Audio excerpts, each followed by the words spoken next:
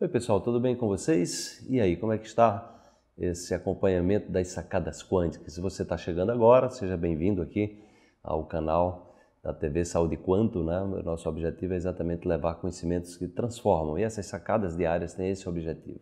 Vamos para a sacada de hoje, ok? Quando você cultiva baixa autoestima, você se desvaloriza, coloca-se no papel de vítima e encontra sempre alguém para responsabilizar pela sua dor.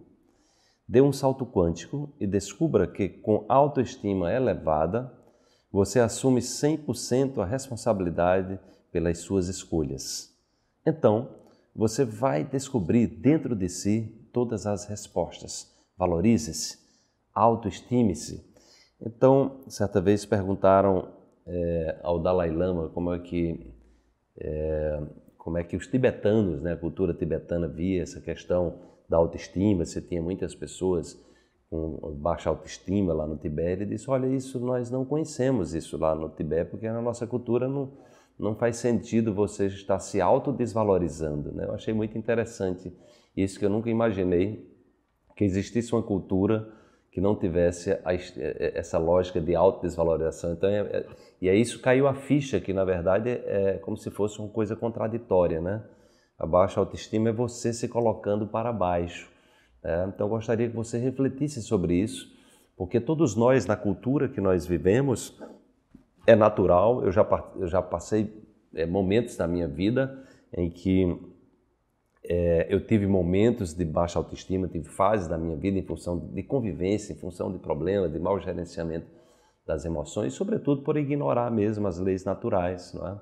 É pela cultura você de repente convive com pessoas que estão ali sempre reclamando da vida, sempre se vitimizando e você termina entrando nesse barco também que é algo que é muito comum na nossa cultura.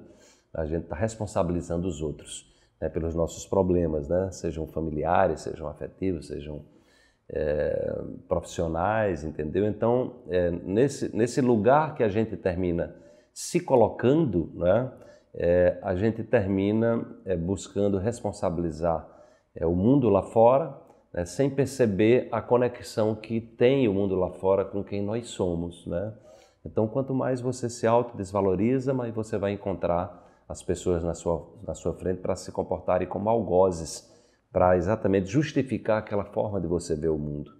E aí, a partir do momento que você se empodera e percebe que é a sua vibração predominante que termina atraindo essa realidade, espelhando essa realidade, você mudando esse padrão, você pode entrar numa vibração de merecimento, numa vibração de, de empoderamento pessoal e certamente é, a sua vida é, vai tender a mudar. Ou seja, então busque exatamente investigar qualquer sentimento, qualquer pensamento que lhe coloque para baixo e procure conviver com ele dizendo simplesmente isso é mentira.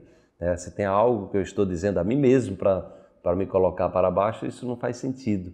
É, isso é uma crença limitante, isso foi em função da cultura que eu vivi, em função de alguma memória negativa do passado, alguma coisa negativa que eu vivi e incorporei, mas isso não faz sentido. E aí você busca exatamente ressignificar e dar esse salto qualitativo, esse salto quântico de, de empoderamento e trazer para a sua vida sempre um, um significado positivo para que você se coloque numa posição de acessar o que tem de melhor e de evoluir, de aprender com a dor, com o sofrimento e não ficar aí nesse estado de estagnação. Então, a dica de hoje é para que você reflita como está a sua autoestima, é, como está a sua capacidade de vigiar os seus pensamentos negativos que lhe botam para baixo, para que você não caia nessa cilada de se diminuir e terminar atraindo pessoas que vão se comportar como seus algoz, né, para justificar essa crença que você eventualmente possa ter. Ok? Então, se gostou, deixa aí a sua curtida, deixe o seu comentário, põe, põe, põe em prática, deixe o seu comentário, fale da sua experiência,